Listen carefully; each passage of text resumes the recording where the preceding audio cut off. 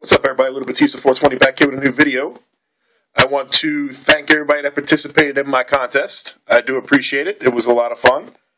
Uh, I'm excited about giving away these two figures here right now. I picked up my uh, my two winners here.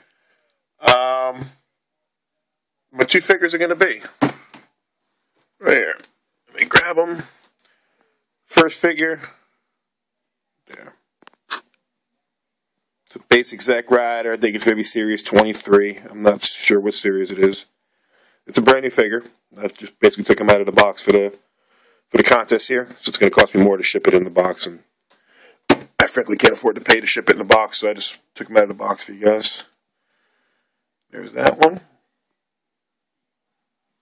And my next figure, the basic John Cena. Not loose at all. Figures like brand new. There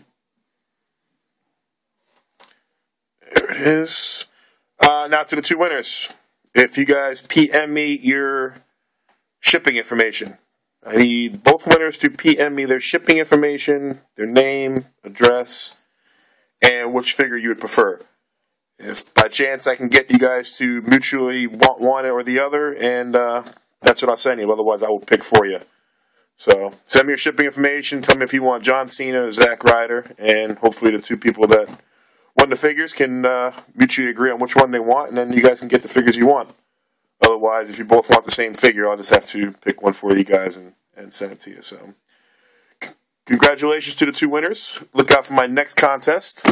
Um, it will be the Heath Slater Autograph Magazine. When I hit 200 subscribers, I will go ahead and do that contest. But uh, until next time, happy holidays, everybody. Hope everybody has a safe and happy new year. And to my two winners, look at it again here. It is Lupe Viscara. You won one of these figures, and 99 Awesome one. So if, two, if both of you guys would PM me your information, I appreciate it, and I will get your figures out sometime after the new year. Hopefully by the end of the week, I should be able to ship out your uh, your figures to you. So congratulations, and uh, thank you very much.